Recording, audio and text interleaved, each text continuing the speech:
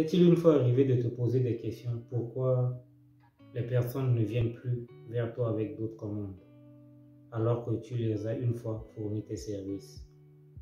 Je ne sais pas dans quel secteur d'activité tu évolues, mais tu trouveras dans cette vidéo quelques astuces qui te feraient revenir tes clients si tu les appliques.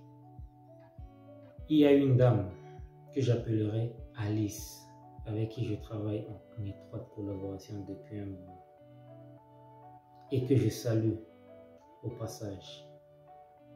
Elle m'avait fait une révélation pas plus tard, il y a une semaine, que je te partage aujourd'hui.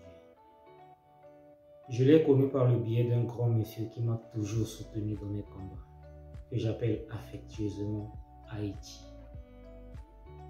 et que je lui fais un clin d'œil depuis sa position au passage. Je crois qu'il se reconnaît lui aussi. Alors cette dame est une amie de la famille de ce monsieur. Et pour avoir travaillé avec lui un bon bout de temps,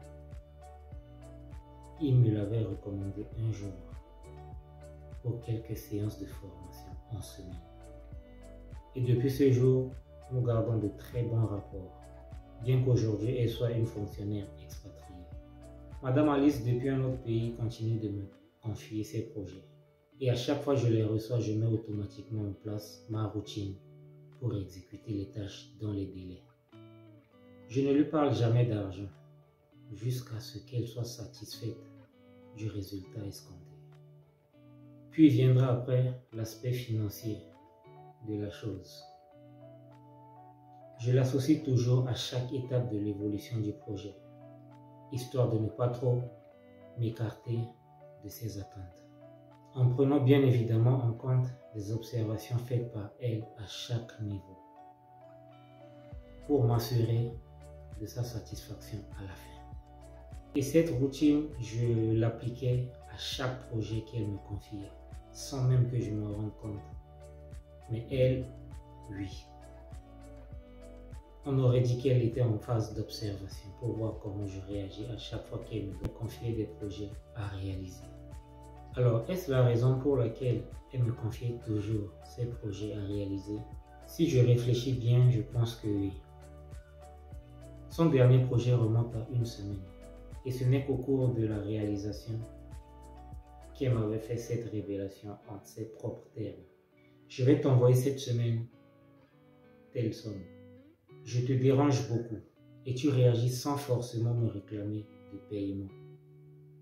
Et c'est une marque confiance. Je sais, tu voudrais très bien connaître la somme, n'est-ce pas?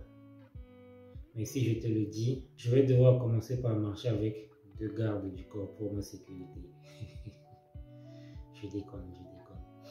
Tu n'imagines pas combien a été mon émotion quand j'ai entendu ces mots venant d'elle. Une vraie satisfaction émotionnelle, je te dis pas. Il faudrait vraiment la vivre pour la décrire. Et à quel niveau de satisfaction ressentait-elle à cet instant précis? Moi-même j'ignore. Alors dis-moi, de toi et moi, pourquoi tu boudes à celui qui te confie son travail? Après t'avoir fait quelques observations, sachant pertinemment que tu maîtrises ton travail. Pourquoi? Tu peux très bien maîtriser ton travail comme tu te le plais à le dire. Mais la sagesse voudra ce que tu acceptes des observations, venant même d'un profane en la matière. Tu sais pourquoi?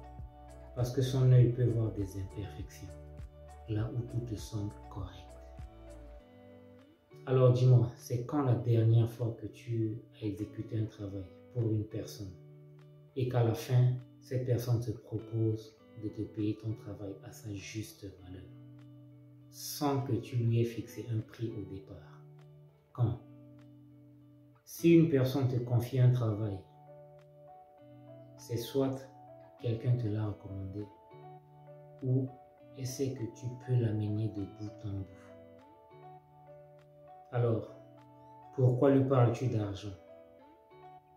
Avant de commencer à travailler sur ce pourquoi il est venu vers pourquoi? Dis-moi. Alors certes, il y a certains marchés où le client doit débourser de l'argent pour acheter des accessoires indispensables à la réalisation de ce pourquoi il est venu vers toi.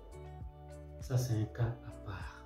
Mais pourquoi tu lui demandes un acompte pour un truc que tu n'as même pas encore commencé la réalisation? Pourquoi? En tant que prestataire de service, quand une personne vient vers toi, ta toute première préoccupation du moment serait qu'elle reparte satisfaite ou soulagée. Ne calcule pas ce qu'elle pourra te donner avant de commencer son travail. Tu as une réputation à construire. Réfléchis plutôt sur les différentes solutions que tu pourrais apporter à son problème et opte pour la meilleure solution. N'impose pas tes préférences. Expose-les sous forme de suggestions. Que le commanditaire devrait donner son approbation avant que tu les intègres au rendu de son travail. Sois ouvert à toutes observations ou suggestions venant de lui. Parce qu'il doit ressentir toutes ses émotions dans le travail que tu lui fourniras. Avec cette approche, tu es sûr de perdre aucun des clients qui viendront vers toi. Choisis l'autre option qui laisse passer l'argent avant le travail, que tu es sûr de continuer à te plaindre que tu perds des clients. Parce que n'oublie pas, un client satisfait revient toujours et devient ton ambassadeur auprès des autres. C'est-à-dire qu'il recommanderait facilement tes services à ceux qui sont dans le besoin. Ne parle pas d'argent pour un travail que tu n'as même pas encore commencé. Laisse plutôt la qualité de ton travail par les finances à ta place auprès du client. J'espère que tu as appris quelque chose de nouveau dans cette vidéo.